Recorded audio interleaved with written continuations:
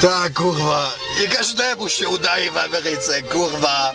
Ja na przykład przyjechałem, kurwa, z Polski, z bardzo małej wioski tutaj i po, kurwa, 10 latach wyszedłem na ludzi, kurwa. Wyszedłem na ludzi, kurwa, i sram teraz na innych prymitywów, kurwa. Pokażę wam, czy przyjechałem, żebyście się mogli zesrać, kurwa, biedaki, kurwa. Ale... Proszę, kurwa, czym przyjechałem?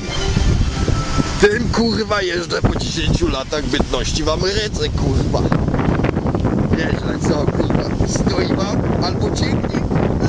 Rozumiecie, nie? To jest taki, to jest taki żart sytuacyjny, bo na przykład jak to oglądają faceci, to ja się pytam, czy wam stoi, bo wam może stanąć, nie?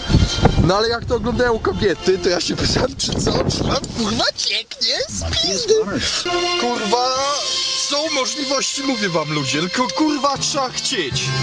Bo kto nie chce, ten co? Ten kurwa nie ma. O kurwa, to mi się udało. Tak to jest, kurwa. Trzeba chcieć, żeby co? Żeby mieć, kurwa, dokładnie.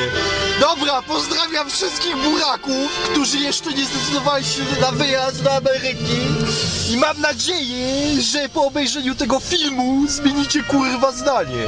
Aha, jeszcze jedno. Oczywiście ten film jest nakręcony w ramach kurwa autoreklamy, nie? Szukam żony. Żony z wyższym wykształceniem Polka. Całuję kurwa. Pa